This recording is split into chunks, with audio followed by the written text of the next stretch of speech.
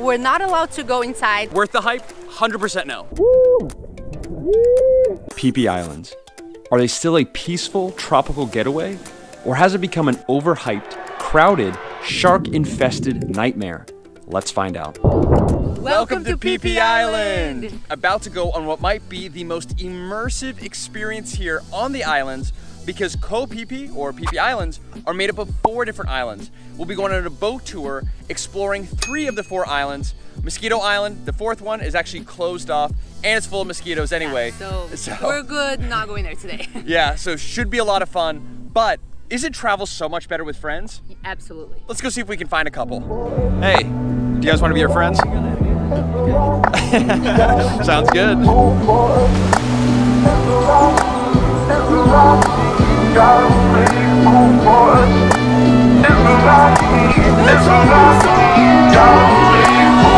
First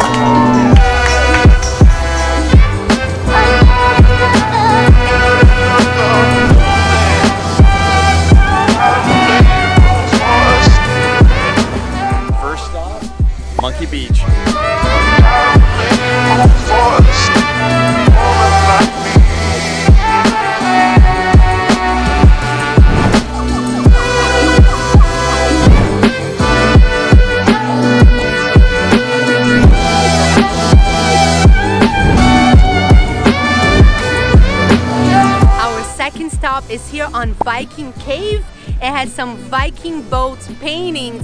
Oh my gosh, I'm moving a lot here.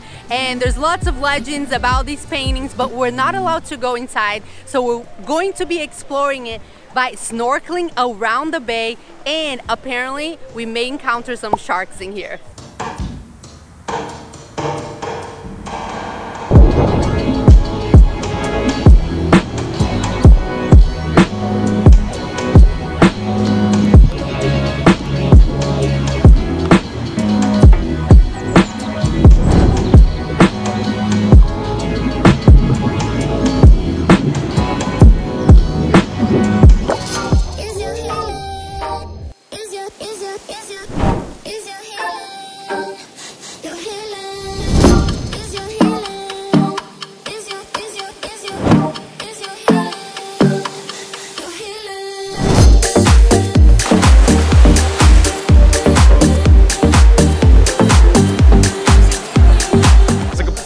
Here. It's not super energetic. I'm sure if you came here at like 7 or 8 a.m., it'd be way less busy.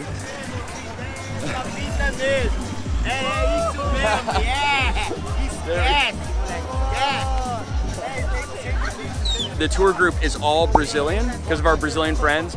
And honestly, we've done this a few times, gone on like Brazilian only tours. It's the best. I love Brazilians, right? Uh, so we're gonna grab a quick bite to eat. So let's go.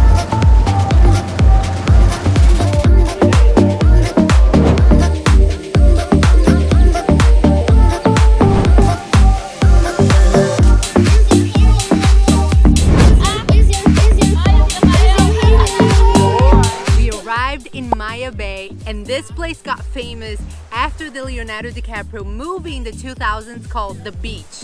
And after it released, there were so many tours, so many people coming to visit that unfortunately it completely killed off all of the natural life here, all of the corals and consequently the little fish, the shark.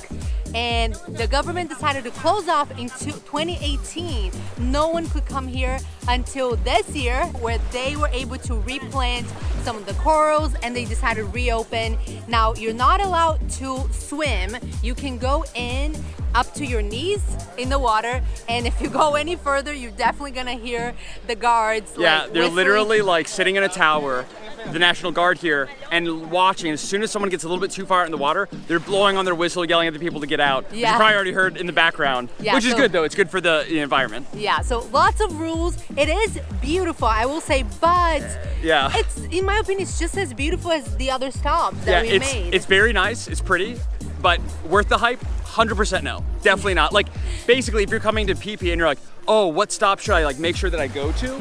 I would definitely not recommend coming here. I think it's kind of a waste a little bit. So I mean, it is kind of a hazard because there's so many people. You're in line and everything, so it takes time.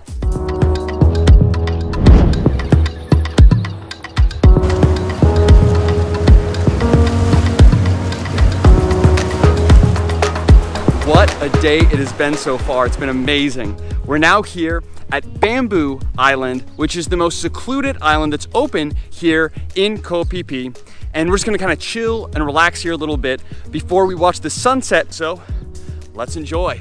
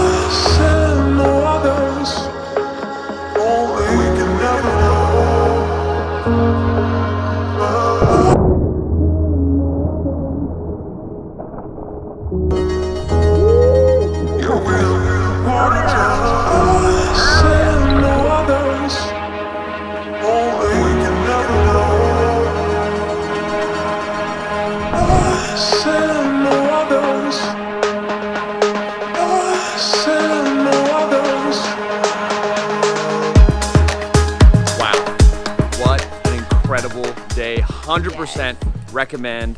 What is the name of the agency again? It's Pipi Brazuca. Pipi Brazuca. It will be mostly in Portuguese, but the guides do speak fluent English. Yeah, so much fun. Yeah, Yeah. very chill. Fun, easygoing, very polite too when you're trying to take photos. It's like literally like the best travel companions. So Yeah. super thankful we were able to travel with the Brazilian group and with our friends Marcus and Cynthia. Yeah, definitely number one thing to do here in Phi Phi Islands. And if you like this adventure, which I hope you did, then you'll love this video here on the screen. So be sure to click on that. And as always, thank you so much for watching. God bless. Look forward to having you on the next adventure. Until then, Bye.